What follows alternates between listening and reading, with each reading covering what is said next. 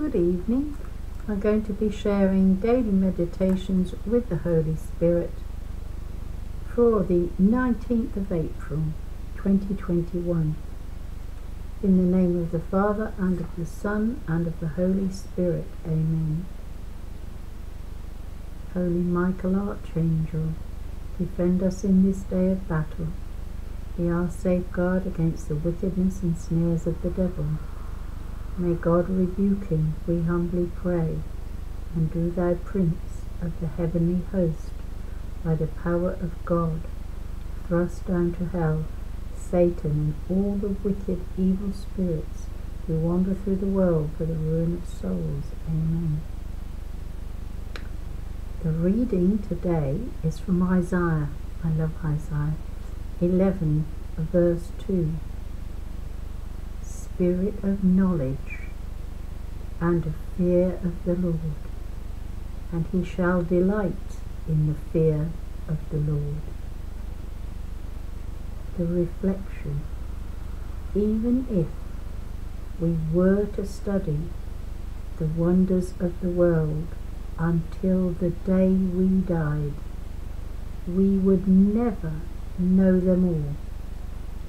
The Spirit reveals those things to us that help us grow in the spirit of awe and wonder. We generally think that the Spirit reveals heavenly things. But through the Spirit, we also come to understand the mysteries of this created world. The prayer, May I know all that I can and be humble enough to admit what I don't know I think that would take forever to say what I don't know. I'm sure that might apply to some of you as well. The more you look at the wonders of the world, the more you know you don't know anything at all. You, you, you. If you're like me, I mean, I'm 74 and I'm still learning about the wonders of the world.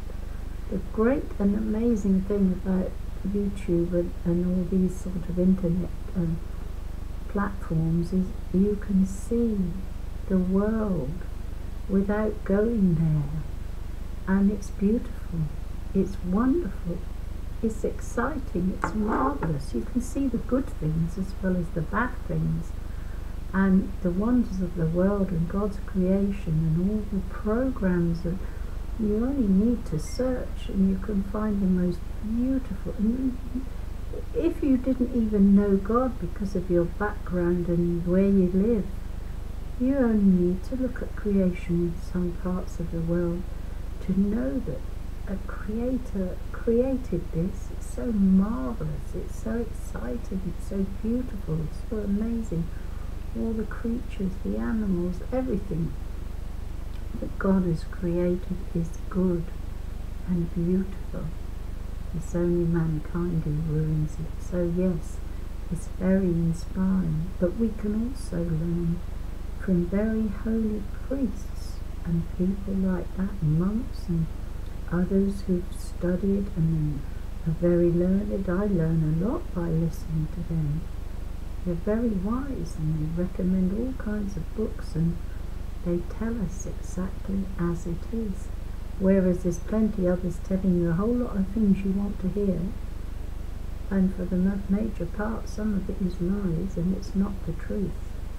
And some of them are saying that everyone will go to heaven. When you get deeper into your faith, you're aware that that is not the case. Men and women, and we put ourselves in a position of going to hell. We're not sent to hell by God. We're sent there by ourselves.